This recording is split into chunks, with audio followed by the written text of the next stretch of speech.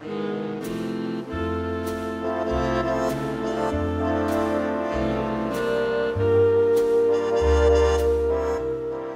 name is Colton McCracken and I am a clerk, I guess would be the word for it, um, here at the Animal Kingdom.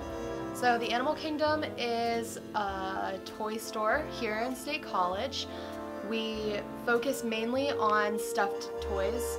Um, we have a huge, huge variety, but we also do dabble in young children's clothing and shoes and toys as well. Being right here on South Allen Street, we are very centrally located, so because of that, we see a lot of the, we have a very large college clientele, um, as well as local um, local families that come in. We definitely have regulars that I see often.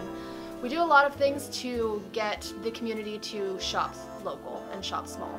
We also have special hours on through the holidays and then for um, the fir first night.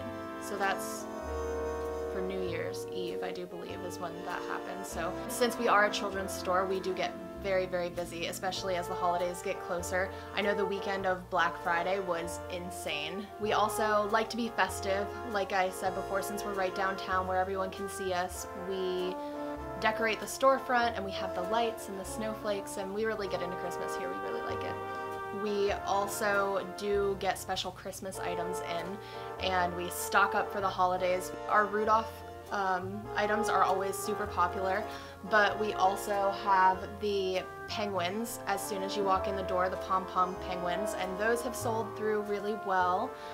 And we also have Yetis. We have these like abominable snowman Yeti things. Um, so those have been selling very well.